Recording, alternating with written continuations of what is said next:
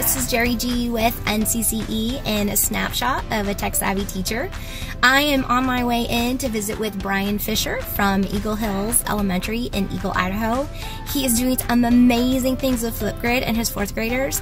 So let's go in and check in on Brian and see what he's up to. I'm Brian Fisher and I teach fourth grade.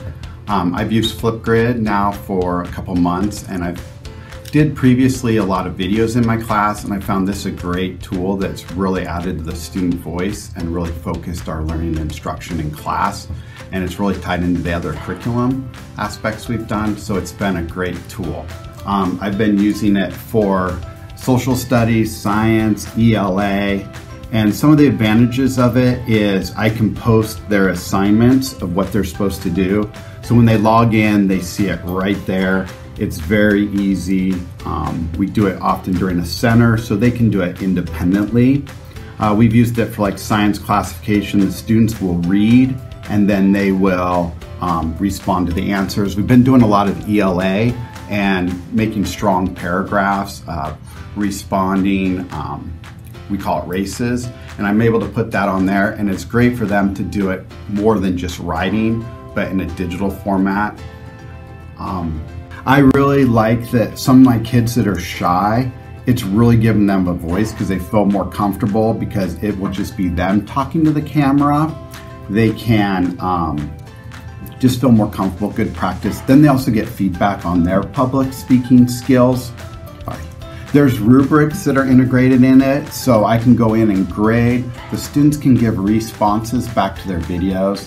It does have the option of some fun, kind of more kid-friendly stuff such as emojis and stickers. And you have the ability to turn those off, turn them on. So it kind of gets that student engagement. We also talk about who is our audience and what's appropriate and not appropriate for those assignments. Once I do have the videos, you're able to mix the videos together and export videos it's kind of a safe environment. It's a safe environment for kids to work in there because it's a closed environment. You need a password to access it.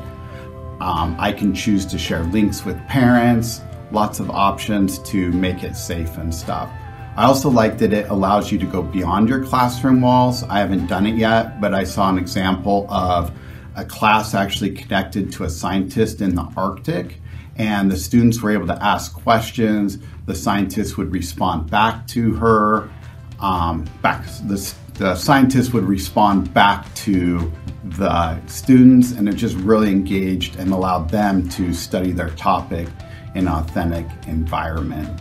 So it's really helped streamline my instruction because I'm, it's easier to give guidelines to the students. It's easier to give them feedback sooner. So I was kind of reluctant at the first because I'm already doing videos. How does this support it? And it's just been a journey once I've worked on it, gotten into it, it just keeps growing with the promise and ability to use it. Um, so I highly recommend getting in. To get started, it's very simple to set up, start having the kid, kids videotape. So did you just go to flipgrid.com? Is that where you started? Is that how you can start? I went to flipgrid.com and created an account and was able to connect with my existing school district account. And then I was able to give the link to my students. They can type in a simple URL and use their student accounts to access. So what has been your favorite project so far that you've done on Flipgrid with your students? Um, there was two of them. We did Lewis and Clark, we do Idaho history. We did fur trappers and I can limit the videos to one minute, two minutes, up to five minutes. So in the past when I was doing video stuff, I'd have kids keep videotaping, videotaping. So it really allowed me to teach them you have a certain amount of time that you need to fit in, um, make sure you're hitting your topics.